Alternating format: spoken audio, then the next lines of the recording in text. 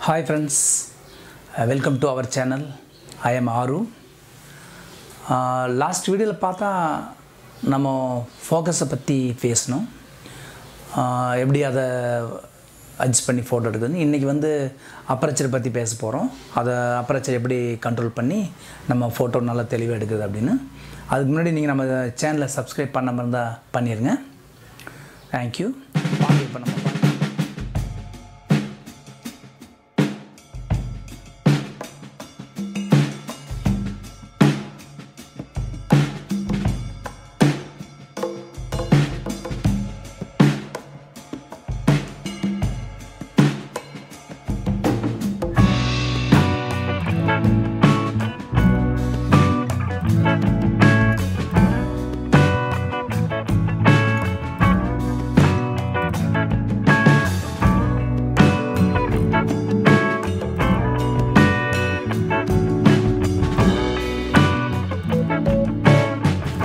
நம்ம பார்க்கலாம் அப்பராச்சர் எப்படி யூஸ் பண்ணுறோம் அப்படின்னு. பாருங்கள் நம்ம வந்து இந்த லென் போன தடவை வந்து கண்ணை கம்பேர் பண்ணி லென்ஸும் நம்மளுடைய கண்ணும் ஒரே மாதிரி தான் செயல் செயல்படுதுன்னு பார்த்தோம். ஃபோக்கஸ் வந்து லென்ஸில் ஆகுது. நம்ம கண்ணு மாதிரியே போன்றப்போ அதை பார்த்தோம். இப்போவும் அதே மாதிரி தான் பார்க்குறோம். நம்ம கண்ணில் வந்து ஐரஸ் சொல்லி போட்டு ஒரு கண்ட்ரோல் இருக்குது. அதே மாதிரி தான் இந்த லென்ஸ்லேயும் வந்து ஒரு அப்ரேச்சர் இருக்குது. சட்டர் மாதிரி இப்படி அது க்ளோஸாக இருக்கும். பாருங்கள் காட்டுறேன். எப்படி நம்ம நல்ல வெளிச்சமான ஒரு பகுதிக்கு போகிறோமோ இல்லை ஒரு சூரியனை பார்க்குறோமோ இல்லை எங்கேயாவது பார்க்கும்போது நல்லா பாருங்கள் அந்த அந்த ஐரஸ் வந்து அப்படியே சுருங்கி சின்னதாயிடும்.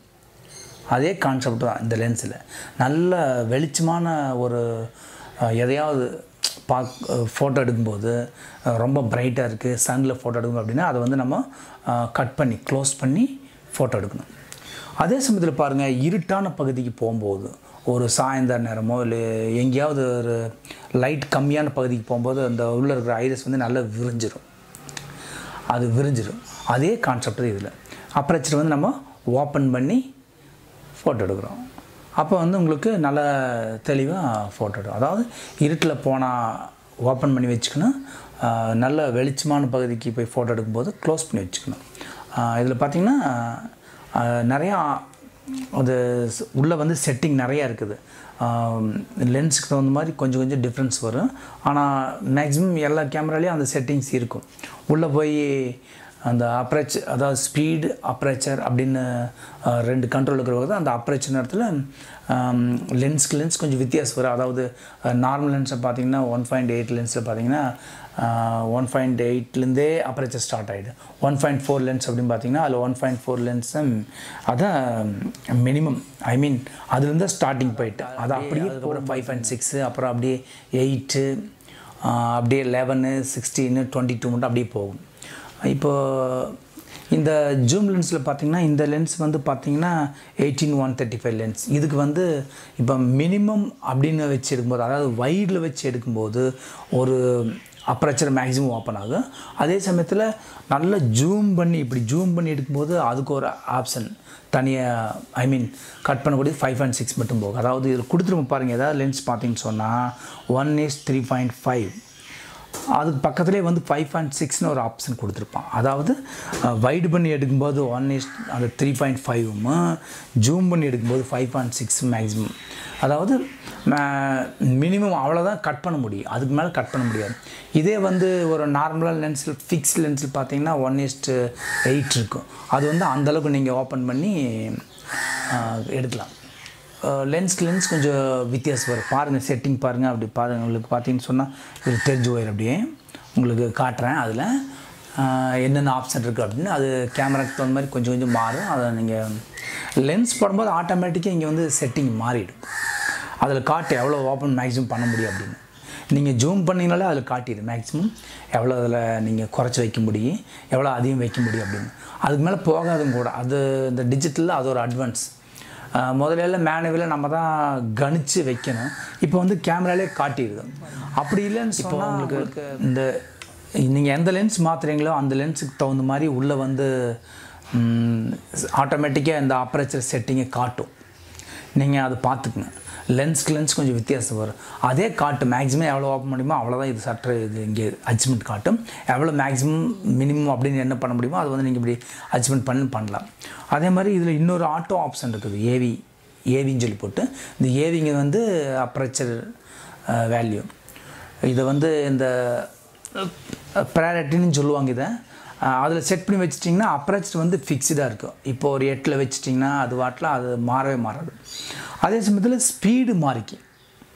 பார்த்திங்கன்னா இப்போ நீங்கள் எட்டில் வச்சு எடுக்கும்போது பார்த்தீங்கன்னா ரொம்ப ஸ்லோ ஸ்பீடு வேலை செய்யுது அப்படின்னு சொன்னால் கொஞ்சம் ஐஎஸ்ஓ இன்க்ரீஸ் பண்ணிக்கங்க.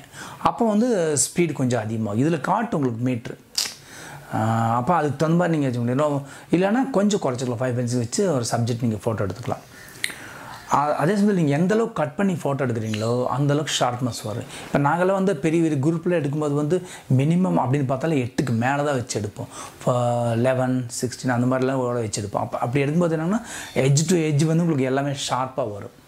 அதனால் அப்புறம் சரி எந்த அளவுக்கு நீங்கள் ஓப்பன் பண்ணி எடுக்கிறீங்களோ அந்த அளவுக்கு வந்து பேக்கெல்லாம் வந்து blur ஆக ஆரம்பிச்சிடும் உங்களுக்கு பேக்கு உங்களுக்கு எல்லா ஓரளவுக்கு ஷார்ப்னஸ் வரணும்னு சொன்னால் கொஞ்சம் அப்ரேச்சர் வந்து நீங்கள் கட் பண்ணி எடுக்கணும். எட்டு லெவன் இல்லை அந்த மாதிரி ஹையாக போயிட்டே இருக்கலாம் சப்ஜெக்ட் இந்த ஒரு ஃபோட்டோ நல்லா அமையறதுக்கு வந்து நம்ம வந்து என்ன தான் முயற்சி பண்ணாலும் கேமராவில் அச்சீவ்மெண்ட் பண்ணாலும் கொஞ்சம் இந்த இயற்கையும் ஒத்துழைக்கணும். இப்போ நம்ம இங்கேருந்து போகிறப்போ ஒரு காட்சியை நினச்சிட்டு போவோம்.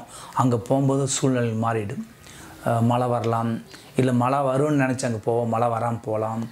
அதனால் நீங்கள் வந்து அதுக்கு தகுந்த மாதிரி எப்பவுமே ப்ரிப்பேர் ஆகிருங்க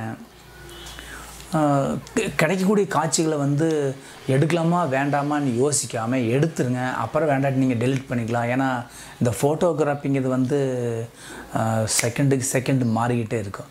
ஐ மீன் இன்றைக்கி ஒரு ஒரு குழந்தைய ஃபோட்டோ எடுக்கிறீங்கன்னா அதுக்கு மூணு வயசுனால் அவ்வளோதான் அந்த மூணு வயசில் வந்து நீங்கள் நிறுத்திட்டீங்க. அது இனி ஐம்பது வருஷம் கழித்து பார்த்தாலும் அது மூணு வயசுனுடைய ஃபோட்டோ தான் எப்போவுமே பார்க்குதுன்னு வச்சுக்குவோம்.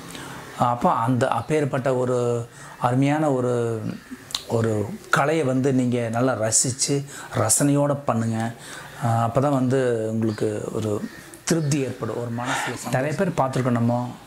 இந்த ஃபோட்டோகிராஃபி வந்து வெறும் ஒரு ஆசைக்காக ஒரு ஒரு ஈடு ஒரு கலைக்காக பண்ணுறவங்கள நிறைய பேர் பார்த்துருக்கேன் நான். அப்படி இருக்கிறவங்க வந்து அதை எந்தளவுக்கு நினச்சி எடுக்கணும்னு நினைக்கிறீங்களோ அது வர்றதில்லை அவங்களுக்கு. அது ஏன்னா அவங்க வந்து முதல்ல அந்த காட்சியை வந்து கற்பனையாக நம்மளுடைய மனசில் நிறுத்திக்கணும். மனசில் நிறுத்திட்டு அந்த காட்சியை வந்து நம்ம கரெக்டாக எடுக்கிறதுக்கு முயற்சி பண்ணணும். அந்த காட்சியை வந்து எப்படி ஒரு ஓவியர் ஆர்ட் வரைகிறாரோ அந்த மாதிரி நீங்கள் வந்து இந்த கேமராவில் வரைகிறீங்க அப்போ அதுக்கு தகுந்த மாதிரி ப்ரிப்பேராக அந்த முதல்லயே வந்து கற்பனையில் நீங்களுடைய அந்த காட்சியை வந்து வச்சுட்டிங்கன்னா அந்த காட்சி எப்படி மேக்ஸிமம் முயற்சி பண்ணி அதை கொண்டு வர முடியுமோ கொண்டு வர பாருங்கள் அப்போ தான் சில படமெல்லாம் பாருங்கள் என்ன அப்ரேச்சருக்கு கொஞ்சம் டிஃப்ரெண்ட்ஸான ஃபோட்டோஸில் நான் வைக்கிறேன். அதில் நீங்கள் பாருங்கள் உங்களுக்கு ஓரளவுக்கு புரியாது எப்படி என்ன பண்ணுறது அப்படின்னு.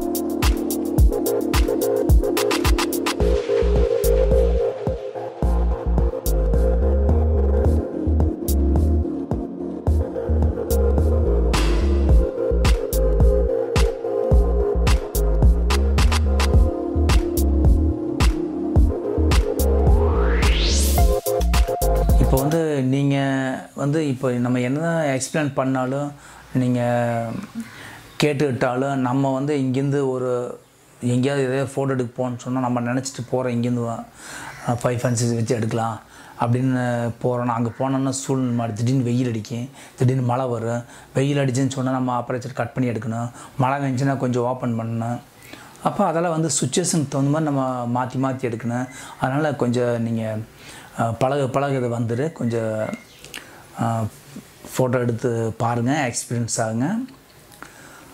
ஓகே ஃப்ரெண்ட்ஸ் இன்றைக்கி நம்ம இந்த அப்ரேச்சர் பற்றி பேசணும். ஏதாவது உங்களுக்கு ஐடியா கிடச்சிருக்கலாம். அந்த இன்றைக்கி பேசுனது உங்களுக்கு பிடிச்சிருந்ததுன்னா சப்ஸ்கிரைப் பண்ணுங்கள் லைக் பண்ணுங்கள் தேங்க்யூ பாய்